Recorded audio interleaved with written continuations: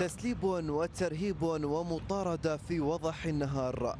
ذلك ما حصل للشاب علي صاحب محل الصيرفة في حي الأمين بمنطقة بغداد الجديدة شرق العاصمة. علي الذي قام بسحب أكثر من 86 مليون دينار من إحدى المصارف في منطقة المشتل يقول إن سيارة لا تحمل لوحات مرورية يقودها ثلاثة أشخاص قاموا بمطاردة دراجته النارية والقيام بتسليبه أمام منزله وأمام أعين الأجهزة الأمنية والمارة. أنا صاحب منفذ مال بطاقه ذكية. سلمنا رواتب إحنا كل ما نسلم رواتب نروح المصرف نسحب اللي- منطينا مسلمينه للعالم. يعني بهذا اليوم اللي صار به الحادث أنا مسلم رواتب رحت للمصرف دا أجيب الفلوس. جبت الفلوس وصلت إلا هنا. من من يا. منفذ من يا منفذ بيا مكان اللي استلمت آه، راتب من المشتل. مصرف المشتل. مصرف المشتل. مصرف المشتل. تمام. عاد دراجه على. من الدراجه لما جاك إيه، كم؟ تفضل. زين. آه، فرحت من المصرف رجعت من المشتل. مصرف المشتل رجعت وصلت لهنا يعني. كلش واصل للبيت. جت سيارة دعمني مسلحين ثلاثة. ونزل واحد من قبل يعني يعرفون حتى أنا يعرفون إنه شايل الفلوس وياي اجوا يقبل على الدراجة اقعد هنايا لا تتحرك.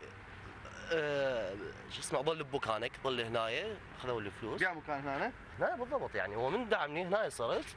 فودوني يم الباب. لهنا وصلت آه، خلاني هنا واقف. اقعد قعدت. مسدس طبعا برقبتي لا تتحرك. واللي بالصدر شايل مسدس واللي يسوق موجه يعني عليهم. شنو سحبه واقسام ومتهيئين لكل الأمور يعني العالم ماشي الساعة 11 الصبح هذا الحكي. أخذوا الفلوس ومشوا عالم ماشيه ولا كأنه ما فد شيء صار. خامس حالة تسليب في بغداد الجديدة. ومثل هكذا حالات في الدورة والبلديات وشارع فلسطين سجلتها مراكز الشرطة خلال 48 ساعة. ويطالب متضررون من وزارة الداخلية فتح تحقيق عاجل مع المراكز لا سيما وإن الكثير من هذه العصابات يفرج عنهم بعد إلقاء القبض عليهم. بساعات وفيما يضطر أصحاب منافذ الصيرفة هنا في منطقة الأمين إلى اللجوء للسلاح الشخصي لحماية أنفسهم.